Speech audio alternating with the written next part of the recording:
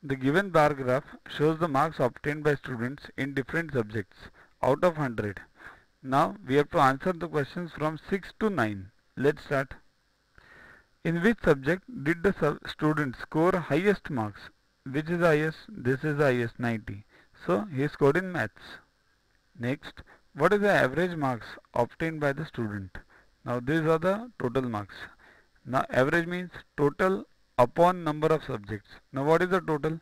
Here English it is 55. It is in the center.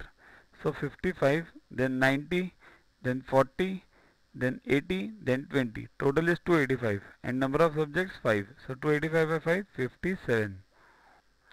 What is the percentage of marks obtained by the student? Here percentage equals to, it's very simple. Percentage means average percentage. Means what is the average which you have got in last problem. Only put percent to that. That is same. Why? because the formula for percentage is total marks obtained upon full marks into 100. Now total marks obtained is what 285. Upon full marks is how much? Out of 5 subjects, so 100 each, 500. So 285 upon 500 into 100. So you get the same answer. 285 upon 5 is 57. Then 100, 100 gets cancelled. So 57% same answer. What is the ratio of highest marks to lowest marks obtained by the students? Now what is highest? 90. What is lowest? So, uh, social science 20. So 90 upon 20.